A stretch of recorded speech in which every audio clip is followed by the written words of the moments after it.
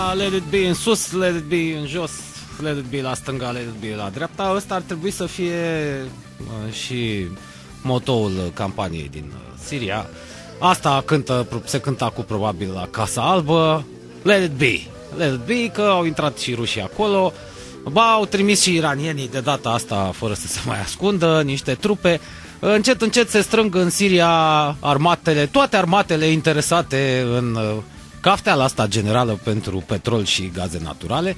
Uh, sigur, Siria nu face parte din uh, galeria țărilor care dețin așa ceva, dar are o poziție strategică de neinvidiat, fraților. Și spunem de neinvidiat pentru că vedeți cât îi costă poziția asta strategică pe uh, sirieni. Nu se mai știe acolo cine cu cine se bate. Sunt numai vreo 4 sau 5 facțiuni de rebeli sau teroriști sau uh, cum vreți să le mai spuneți. Unii că sunt doar rebeli, alții sunt doar teroriști, în fine, nu mai contează, care se bat între ei, cam fiecare pentru el, fiecare cu mămicuța lui pe acolo. Uh, o vreme s-au bătut singuri, ajutați. Unii de ruși, alții de americani, alții de saudiți, uh, alții, cum este cazul celor de la ISIS, tot de... Hai să fim serioși, de unde primesc ăia fonduri, bă? N-ați văzut cu ce defilează? Uh, în momentul de față, li s-a cam luat uh, covric gelul din uh, mână pentru că n-au fost uh, în stare. A rămas așa în coadă de pește situația din Siria și a pornit valul ăsta de refugiați la indicația știm noi cui, spre uh, Europa, motiv pentru care au intrat marile puteri și au zis gata, vă v-ați jucat destul. E și acum, pe lângă facțiunile alea, mai sunt uh, Statele Unite, Rusia, Iranul, uh, mai, mai bombardează și saudiții cu avioane luate tot de la americani, probabil, că n-am auzit să se fi fabricat vreun avion în Arabia Saudită. De fapt, n-am auzit să se fi fabricat vreodată ceva în Arabia Saudită. Că până și utilajele alea pentru extracția și rafinarea petrolului sunt uh, construite tot cu materiale și oameni din Europa și America de Nord. Da, mai mult din Europa, europenii uh, sunt cu construcția pe acolo prin zona unde alta, dar americanii nu sunt atât de fraieri încât să se țepuiască. Uh, după cum știți, România a luat multe țepe în Orientul Mijlociu și în Africa. Și în Africa de Nord și în Africa Central. Noi am construit drumuri pe vremuri pentru alții. Uh, le-am construit sonde de petrol. Dar ce nu le-am construit? Și nu am văzut niciun bănuț. Apoi americanii fac prostii. Asta îi lasă pe europeni să se păcălească la capitolul contracte și subcontractări. Așa că let it be în Siria, nu se mai știe cine cu cine. Uh, un lucru este foarte clar, spre osebire de toți ceilalți, uh, ISIS și Rusia au strategii foarte bine, foarte clare, obiective cel puțin foarte bine trasate. La capitolul strategie, ăștia de la ISIS au ei ceva, dar nu se compară cu uh, o strategie militară în adevăratul sens al uh, cuvântului. Uh, cei de la ISIS vor crearea unui stat islamic care să cuprindă o parte din teritoriul Siriei și uh, o parte din teritoriul Irakului pentru început, după care urmăresc să se extindă ușor, ușor în tot Orientul Mijlociu, Africa de Nord și pe termen lung în Europa, de ce nu? În vreme ce rușii au o strategie mult mai clară, dar uh, și un obiectiv la fel de clar, au și anunțat-o, fără să se ferească, au spus-o fățiși, urmărim să eliberăm Siria de, toate, de toți teroriștii, de toate facțiunile teroriste, adică vor începe să înainteze ușor, ușor către granița de est a Siriei, după care să-i ajutăm și pe irachieni. Adică vor, cu alte cuvinte, să măture la o mișcare dintre asta de perie, care să înainteze până spre Bagdad și dincolo, uh, până la granița cu prietenii iranieni, pentru că se, este de notorietate prietenia dintre iranieni și ruși. Uh, spre osebire de americani și europeni, rușii au, știu foarte clar ce vor de acolo și e posibil ca de această dată să reușească, pentru că așa cum vă spuneam, uh, teroriștii ISIS au abandonat lupta de gherilă, văzând ei ce ușor au obținut unele succese în zonă și au trecut la lupta armată deschisă. Asta e o mare greșeală când te lupți cu o superputere. Uh, între timp rușii au mai învățat și au învățat lecția în Afganistan. Ați văzut că în Cecenia până la urmă au reușit să-i potolească pe ea, nu mai suflă nimic, nimeni. Acolo nu se mai aude nici musculița. S-a lăsat greu. Nu știm câți ceceni au mai rămas în viață în Cecenia, dar rușii uh, în cele din urmă i-au potolit. Deci au învățat ce și cum, au mai făcut puțină practică Uh, și în Ucraina, înainte să intre în Siria și e posibil ca de această dată să reușească, cel puțin în Siria. în Irak s-ar putea ca situația să fie mai complicată. Dar vor beneficia, spre deosebire de americani, de ajutorul șiiților irachieni. Americanii n-au reușit să se împrietenească în atâția ani nici cu șiiții, nici cu suniții acolo, vreme ce rușii deja au un aliat în interior. Asta s-ar putea să conteze. Uh, una peste alta, asigur că noi, europeni în general și noi, europenii de est în particular, nu avem uh, ce interese să avem. Noi nu o să ne alegem cu nimic de acolo, dar, dar, măcar, există șansa ca din uh, conflictul ăsta și din intervenția probabil și a Statelor Unite, mult mai directă și mai eficientă în următorii ani, Uh, și din intervenția Rusiei, probabil că s-ar putea să mai scăpăm de valul ăsta de refugiați. Măcar atât să câștigăm dacă altceva nu reușim. În orice caz, uh, uh, sperăm să se termine cât mai repede cu statul ăsta islamic și să redevină ceea ce a fost de la bun început, o organizație criminală clandestină și nu o forță armată în regiune, ca să scăpăm noi de acești refugiați care nu prea sunt refugiați. Să fie cu iertare, dar nu prea sunt. Și dar nu sunt oameni, majoritatea care fug din calea războiului, că acum i-am văzut. I-am văzut în imagini. Unii da, au fugit cu familii, cu cățel, cu purcel. Ăia da, ăia fug din fața războiului. Ceilalți, mm, permiteți-mi să mă îndoiesc. Asta o spun deja și unii lideri europeni moderați. Nu mă refer la cei uh, care au interese de stânga sau de dreapta. Deja au început să prindă curaj și să-i dea replica lui Madame Merkel, spunându-i ceea ce știm cu toții, Madame, ești proastă n-ai înțeles nimic. Uh, apropo de Madame Merkel, uh, popularitatea ei a scăzut simțitor în sondaje, se pare că nemții nu o mai iubesc. Iată cât te costă nepregă- lipsa de pregătire până la urmă. Nu prea s-a dus la școală ea, la geografie, la istoria, că am lipsit. La economie, da, și-a făcut temele, bine, s-a descurcat sau nu s-a descurcat, depinde pe care dintre nemții întrebați, pe aia de stânga sau de dreapta, mă, dar la restul nu prea s-a dovedit a fi o bună școleră, așa că probabil uh, ceea ce visa ea să mai fie cancelarul Germaniei încă 20 de ani, mi-e teamă că nu se va mai putea. Și let it be în Siria, let it be și la noi, continuă, fraților, campania asta anticorupție inutilă, pentru că pedepsele sunt prea mici. După cum vedeți, nu se potolesc, oamenii noștri fură în continuare. Uh, cei de la Reuters au găsit și explicația, uh, una superficială, dar valabilă este unul dintre motivele pentru care ăștia fură în continuare și anume faptul că sunt foarte mulți bani.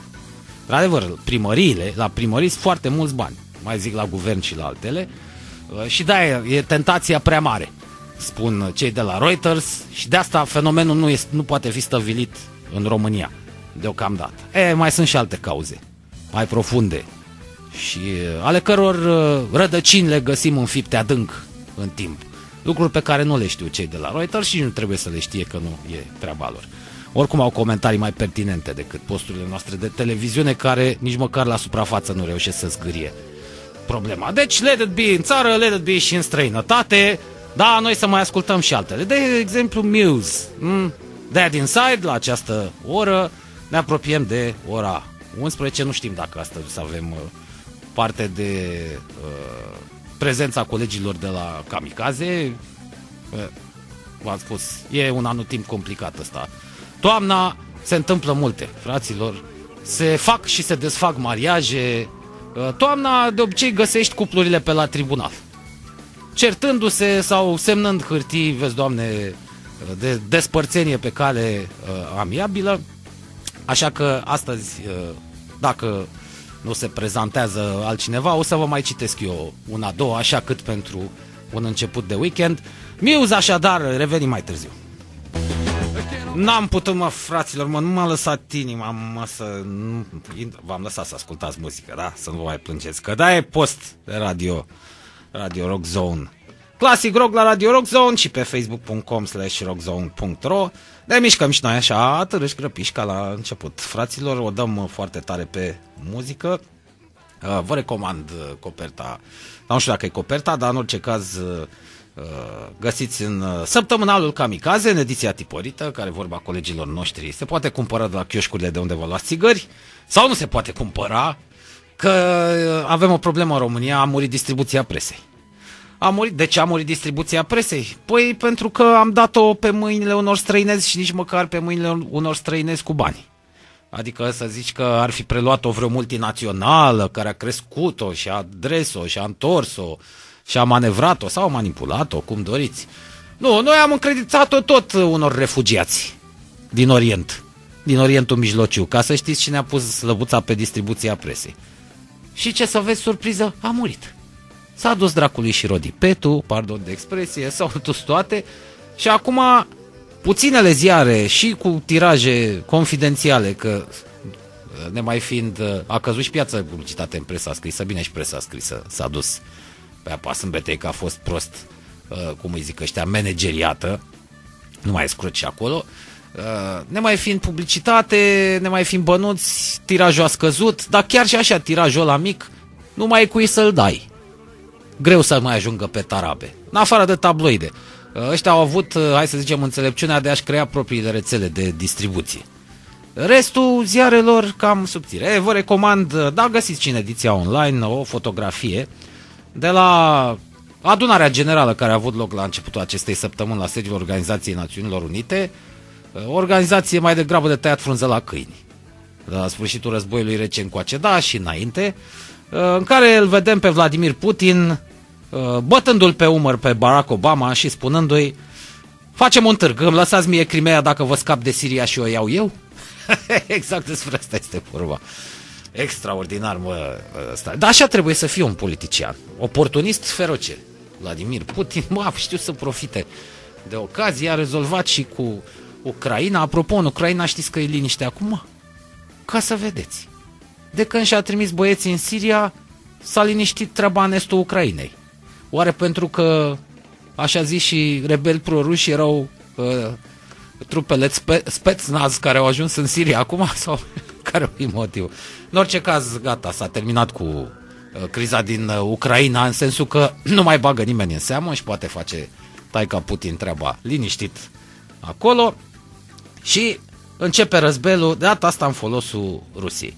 Bă, mi-a spus bunicul meu, în 90, nu o să scăpăm de ruși niciodată.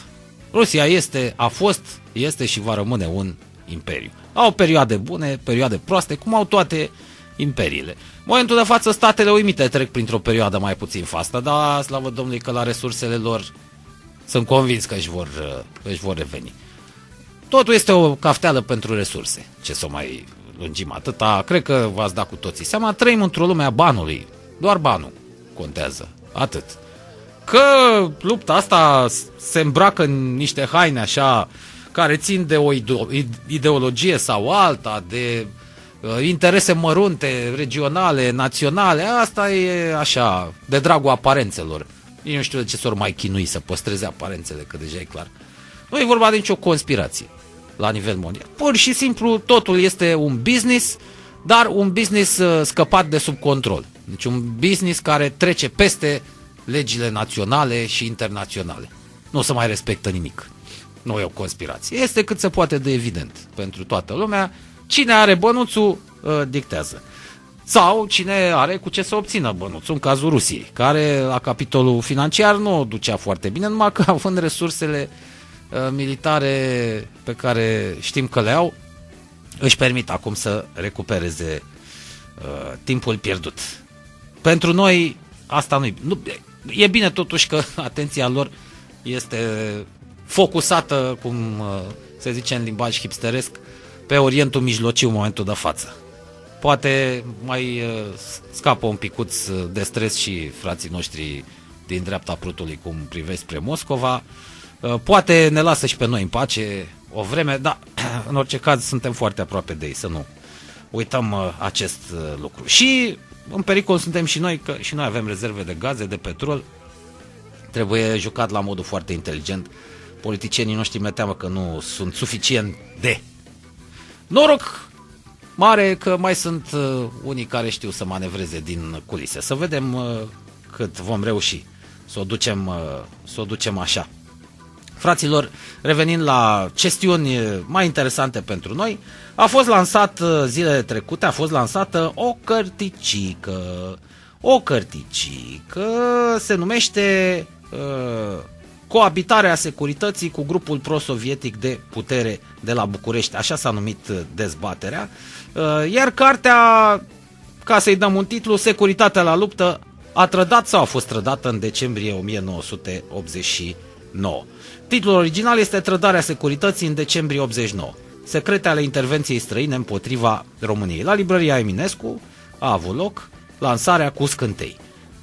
La lansare au fost invitați tot felul de analiști, politici, dar și foști securiști de renume și actuali securiști importanți. Și de aici a ieșit o dezbatere, bă, fraților, dar ce uh, dezbatere?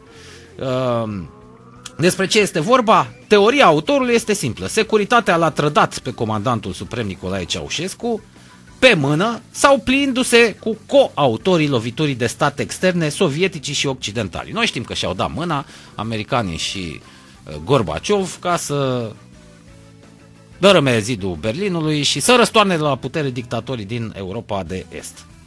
Uh, teoria are însă și un revers nevizat de cercetătorul evenimentelor și autorul uh, cărții. Uh, securiștii de la cel mai mic și până la generalul Iulian Vlad, artizanul operațiunii potrivit autorului, devin automat eroi ai Revoluției și pot beneficia de toate drepturile de care au fost deprivați până acum, unii chiar servind închisoare mai mult sau mai puțin grea. Dacă securitatea este principalul autor al răsturnării regimului comunist, istoria trebuie rescrisă în hohote, iar raportul lui Tismoneanu pus la topit la prima fabrică de hârtie igienică din Buhuș pentru a încuraja micii întreprinzători uh, locali. Uh, sunt redate pe ziarișteonline.ro și fragmente din carte, dacă vă uh, interesează. Uh, de pildă, capitolul aspecte privind coabitarea securității cu grupul pro-sovietic de putere de la uh, București. Deci teoria e simplă, da, uh, o știm și noi. Fraților, securitatea, într-adevăr, l-a trădat pe Nicolae uh, Ceaușescu, știind foarte bine ce se pregătește în uh, afară. După care, în lupta pentru putere, unii securiști au căzut victime, alții s-au dat cu noul regim. Hai să trecem un picuț, un pic de tot, să nu citim foarte mult, că plictisim prin capitolul ăsta, poate vă trezim uh, interesul. După trecerea securității în subordinea armatei, după amiaza de 22 decembrie, după declanșarea campaniei mediatice împotriva ei și după arestarea unora dintre principalii ei șefi, securitatea nu mai putea controla singură societatea românească. Practic, o perioadă ofițerii de secu veneau la serviciu sau stăteau acasă, încasau salariile, dar nu făceau absolut nimic. Importante structuri ale securității au fost paralizate în închisori sub presiune, dar și ocrotiți de furia publică, unii ofițeri de securitate au fost abordați și li s-a propus revenirea în activitate și chiar în funcții de conducere. Deși ofițerii de securitate trimiși din centrala DSS la Timișoara în perioada declanșării revoltei au fost acuzați de complicitate la genocid, ei au fost totuși abordați în vederea cooperării cu noua putere. În februarie 90, lui Filip Teodorescu, fost adjunct al șefului direcției a treia de contraspionaj, s-a propus colaborarea în schimbul numirii sale ca viitor adjunct al directorului principalului serviciu de informații al țării, adică SRI. Teodorescu a rămas în închisoare încă un an de zile, dar de acolo a semnat acte, inclusiv avansarea în grad sau numirea în funcție a unor ofițeri. De ce l-a condus securitatea din închisoare, frații? Incredibil, bă, ce, ce șantaj. Au știut, bă, băieții, ce să facă. Gașca lui Iliescu, locotenent colonel Gabriel Anastasiu, fost adjunct al direcției întâi a Direcției Securității Statului, deci direcția în principal răspunzătoare de poliția politică, deși a acționat și el la Timișoara în timpul evenimentelor și era acuzat de complicitate la genocid, în timpul cât era întemnițat în penitenciarul din Timișoara, a fost avansat la gradul de colonel de noua putere. Deci erau acuzați și arestați și condamnați pentru genocid, dar erau avansați și chiar depuși în funcții, doar că erau în închisoare. Ca să fie ăștia siguri ai lui Iliescu că vor semna actele pentru că aveau în continuare autoritate asupra foștilor colegi, i-au ținut în închisoare până când și-au făcut treaba cu ei. Foarte mișto, nu? Doar două puteau fi motivele acestei avansări. Serviciile informative aduse în timpul detenției, din informații culese de la foarte importanți deținuți politici din penitenciar și păstrarea omertei privitoare la evenimentele de la Timișoara. Și tot așa, sunt cazuri peste cazuri, fraților, foarte, foarte, foarte, foarte, foarte interesant uh, de citit cărticica respectivă. Acum, uh, între noi fie vorba, uh, când vine vorba despre spionaj și contraspionaj, lucrurile sunt foarte încurcate. Nu trebuie să iei neapărat ca atare informațiile care ți ajung uh, sub nas. Ele de cele mai multe ori reprezintă interesele unora sau ale altora. Dar se strecoară destule informații pe care le poți reține acolo la sertar și poți trage concluziile de rigoare mai, uh, mai târziu. Vreau să spun că unele lucruri ies totuși la iveală. Unele. Re, rețineți acest lucru. Nu toate. Deci vă recomand uh, această cărticică, dacă tot s-a publicat, deci puteți să o citiți, fără, nu sunteți în, uh, în uh, pericol. M-ar fi interesat și stenograma dezbaterii care a avut loc la librăria Eminescu, ar fi fost interesant. Vedem cum, ce puncte de vedere au avut foști securiști, actuali securiști, analiștii și alte, alte lucruri. Care va să zic că ne așteaptă un weekend plin de evenimente. La modă o să fie o vreme nu foarte lungă, acum v-ați obișnuit și cu conflictele astea. Veți vedea pe ecranele televizoarelor ce se mai întâmplă în Siria, după care cine știe ce criză se va mai declanșa în altă parte și va trece în uh, planul secund și conflictul de acolo. Între timp, la noi discuții, Dragnea încearcă să pună bodniță presei, zic unii, alții spun, a, și așa nu mai are mult și îl saltă, nu mai știi ce să crezi, dar e de urmărit și bătălia politică din sânul PSD-ului și, bineînțeles, dintre PSD și uh, opoziție. Lucrurile nu arată foarte bine în momentul de față. România pare să nu mai aibă opțiuni. Cea actuala clasă politică și-a cam epuizat rezerva de cadre. Greii au cam dispărut. Nu se știe ce va urma și mai ales cine. În orice caz, bine nu o să ne fie. Acum ne dăm seama că am greșit uh, naivitate, fiind prea naivi, am crezut că se poate rezolva în 20-30 de ani și poate ne vom ridica și ne vom scutura și vom uh, începe și noi să deprindem jocul ăsta politic al democrației și principiile călăuzitoare ale economiei de piață, ei bine, nu. nu. Se pare că trebuie să treacă totuși. Așa cum au spus-o mulți istorici, mulți uh, sociologi de prestigiu, nu din țara noastră, ci din străinătate, după un regim autocratic, autoritar, care reușește să se mențină câteva decenii în uh, țara respectivă, trebuie să treacă cel puțin două, trei generații, dacă nu chiar mai multe, până când uh, se scutură praful și uh, oamenii încep să o ia de la capăt, de la zero, practic, în, în alte condiții. Acum ne dăm seama că prea bine nu putea să ne fie. Erau prea mulți securiști în România. Aveau cum să dispară. Și oricum ei aveau toate pârghile. E, câtă vreme suntem conduși de ăștia, așa o să o ducem. Tot ce putem spera este să supraviețuim. Fraților, cam atât uh, pentru, pentru astăzi. Uh, vă repet, gluma zilei asta ar fi. Putin spunându-i lui Barack Obama în paginile revistei Kamikaze, facem un târg, îmi lăsați mie Crimea dacă vă scap eu de Siria și o iau eu. Asta mi se pare uh, genială. Revenim uh, de luni, să sperăm. Uh, până atunci vă las în compania lui Liviu Zamora, colegul nostru și uh, ascultați emisiunea Z-Zone pe radiorockzone.ro Să aveți un weekend cât mai plăcut. Continuă Cupa Mondială la rugby, meciuri foarte, foarte interesante. Țara Galilor merge foarte bine. De urmărit și ce se întâmplă în grupa României. Noi vom avea meci cu canadienii. Practic este singurul meci de la care putem spera ceva, dar eu zic să nu ne facem prea multe iluzii, că până și canadienii au mai mulți jucători legitimați ca noi, deși ei sunt cam începători așa în rugby. Sigur că e o țară mare și cu resurse vaste, dar uh, n-au fost o forță mo- rugby mondial până acum. Uh, până și ei au mai mulți bani, au investit mai mulți bani în rugby, deși acolo hockey e rege. Și mai au și alte sporturi, tot de inspirație americanească. Uh, așa că să nu ne așteptăm să nu ne facem iluzii ca să avem deziluzii, cum spunea uh, americanei. Oricum, uh, băieții de la rugby merită felicitați. Doar pentru faptul că se califică la fiecare ediție a Cupei Mondiale și nu e deloc ușor. Motley Crue, Dr. Feel Good, numai bine!